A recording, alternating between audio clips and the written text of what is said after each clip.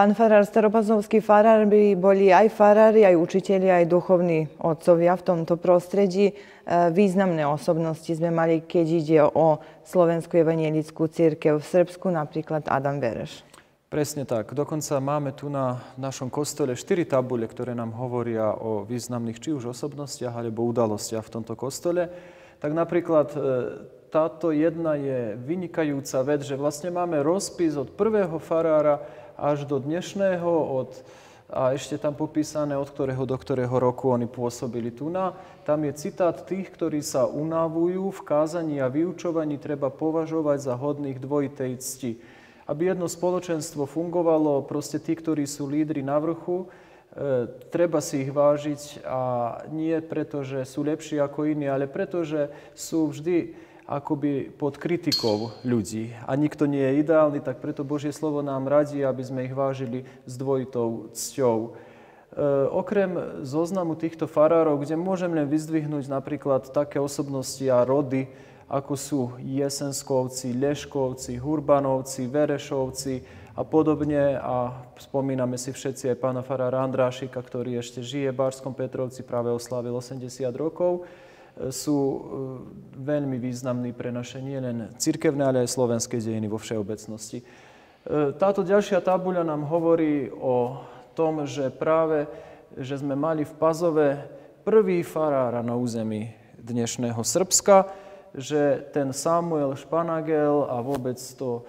organizovanie sa pôsobilo, že dnes v tomto roku oslavujeme nielen 250 rokov ako najstaršieho cirkevného zboru, ale aj 250 rokov od založenia prvej slovenskej inštitúcii alebo organizácii na území dnešného Srbska.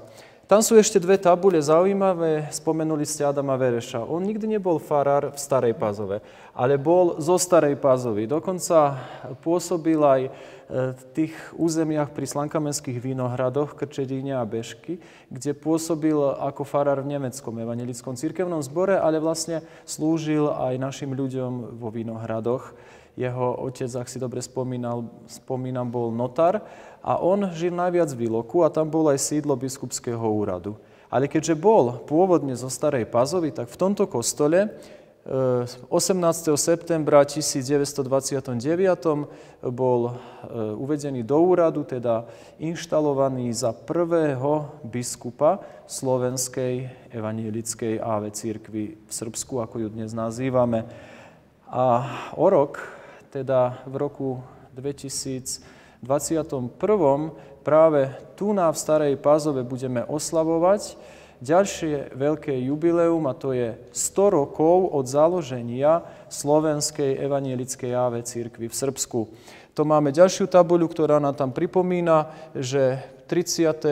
júna v roku 1921, teda pamätajme, že je to rok 21, po prvej svetovej vojne, po rozpade Rakúsko-Uhorska, máme kráľovstvo Srbov, Chorvátov, Slovincov, neskôršie kráľovstvo Jugoslávia, juhoslovanské, sa naši predkovia zhromaždili kam? No sem, do najstaršieho zboru, do najstaršieho kostola, zo všetkých slovenských dedín. A e, bola dilema, či sa pridať k Nemcom a Maďarom, ktorí tiež boli evanielici v tom období, Nemcov bolo pravdepodobne aj viac ako Slovákov, alebo či si my chceme založiť svoju Slovensku. Keďže histórii na nejaký spôsob vždy nás pre, prehlasúvali a slovanstvo a slovenský jazyk bol zneúctievaný a podobne, tak sa naši predkovia, myslíme, že múdre rozhodli, aby založili svoju samostatnú evangelickú církev. Teda práve tu v Starej Pazove bude 100 rokov, ako e, vznikla slovenská evangelická církev a dodnes trvá. Teda toto miesto je naozaj spojené s dejinami Slovákov, na našom území. Ešte pridám k tomu prvé stretnutie evanielickej mládeže, keď boli tu farárovci, balážovci. Bolo usporiadané tiež tu na v Starej Pazove. A tak by sme mohli napočítovať aj ďalej. Možno je to aj tým dnes, že modernejší prístup k duchovnosti sa deje práve v našom zbore, ale musím aj to povedať, pri zachovávaní tradícií klasických služieb Božích, paralelne robíme aj modernejší prístup, napríklad na fare, kde mládež sa aj na modernejší spôsob modlí Pánu Bohu, spieva a e, organizujú sa rôzne veci, ako sú second-hand bazáre, e, vianočné bazáre, čo nebolo v histórii e, toľko známe alebo vôbec. Teda dnes žijeme tak, by som povedal, paralelne s úctou k tej tradícii a budovaniu na nej, ale s perspektívou do budúcna a vlastne zapojením do cirkevnej služby a života, všetkého toho, čo je dobré a čo je v duchu doby, v ktorej žijeme. Vrátime sa ešte k farárom. Už 15 rokov ste v Starej Pazove farár, predtým ste niekoľko rokov aj boli kaplan. 15. pán farár. Spolu s vašou rodinou žijete v Starej Pazove a už možno povedať, že ste ako pazovčan. Presne tak. U, už, už je tá identita pazovská vo mne aj už ináč ani to nevnímam ani sám. E, je krásne, keď môžete pôsobiť v spoločenstve, kde sa cítite, že ste prijatí a kde sa môžu vaše dary, ktoré máte od Pána Boha dané, môžu rozvíjať. Dúfam, že to bude tak aj v budúcnosti. Proste církev ako taká je taký organizmus, kde nezáleží všetko len od farára, ale farár si musí nájsť veľa spolupracovníkov, ktorí v každej oblasti podľa darov, ktoré tie určité osoby majú, môže pôsobiť. A tak sa snažíme budovať aj tento cirkevný zbor. Keď vidím, že niekto je, neviem, dobrý v písaní, povedzme si básni alebo článkov a tak, tak dáme priestor tej osobe, nech to vzdeláva iných. Keď vidíme, že niekto e, má súcit s inými ľuďmi, rád sa stretáva so starými, potom napríklad navštevujeme s takou osobou chorých, ktorí e, majú dar organizovania napríklad už spomenutých second-hand bazárov a inej veci v humanitárnej cirkvi, hovoríme diakonickej oblasti, tak im tam dávam priestor. Teda e, evangelická církev vždy bola a musí zostať národnou církvou, kde nie je tu len farár, odbaví si nejaké služby a dovidenia. Ale to je jedno živé spoločenstvo, kde sa všelijaké veci dobré dejú, kde urobíme aj chyby, musíme si odpustiť a ideme ďalej vpred. Teda taká evangelická církev a preto aj tie národy, kde ona dominovala, ako napríklad Škandinávia, sú dnes najvyspelejšie na tomto svete štáty. A mnohí z nás a žiaľ aj mnohí z našich obyvateľov sa stiahujú do iných krajín. A to je ďalšia výzva, o ktorej by sme mohli hovoriť. 250 rokov, ako sa Slováci pristahovali do Starej Pazovy, všetky organizácie, inštitúcie sa samozrejme, keď ide o Slovač na tomto území, zapoja do týchto oslav. E, čo to církev prichystá, keď ide o veľké jubileum? Áno, e, sme sa viackrát stretávali e, ten tzv. oslavný výbor, v ktorom sme si povedali, že čo sú nám priority tých oslav. Samozrejme, že cirkevný zbor bol tam prítomný a dohodli sme sa, že tie ústredné oslavy budú koncom mája, teda 31. E, máj, myslím, že je nedeľa, vtedy budú slávnostné služby Božie, na ktorých budeme vítať aj vzácných hostí, ale celý tento rok je poznačený oslavou 250 rokov. Nie len tento, dokonca aj minulom roku už sme organizovali eh, aj tu na v kostole, eh, čo sa týka paničiek v Slovenskom národnom dome pri dvorí, tam Sieni bo, bola konferencia a tu potom tí prišli napríklad. No a okrem tých ústredných oslav, ktoré sa viažú ku príchodu, náš cirkevný zbor chce zaznamenať aj e, samotný deň, keď prišli, nie keď prišli, ale keď založili cirkevný zbor a to v tom zmysle, že mali prvú bohoslužobnú mm-hmm. aktivitu, boli to služby Božie s krstom dieťaťa a to sa udialo ešte bez budov, pod otvoreným, pod holým nebom, ako to hovoríme, 25. júna v roku 1770. A teraz vám aj poviem, ktorý neviete, nie je to ani tajomstvo, ale, ale také symbolické, to nie je náhodou, že bolo 25. júna v tom roku. Prečo? Pretože 25.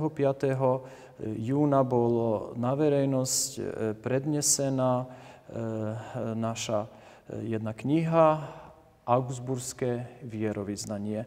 My sa voláme Evanielická církev podľa Augsburského vierovýznania. Pred cisárom Karlom V. Veľkým naši predkovia niekedy v Nemecku vtedy pred celým svetom vyznali, čo veria, čo je základ našej viery, tak aj tí naši predkovia práve v pamätný deň e, Augsburského vierovýznania založili tento cirkevný zbor. A na ten deň chceme usporiadať tiež služby Božie s hostiami a chceli by sme potom spoločne výjsť aj von a jednu časť služieb Božích mať pod otvoreným nebom, presne tak, ako to bolo pred 250 rokmi, keď naši predkovia prišli a prvýkrát tu nám mali bohoslúžobné zhromaždenie.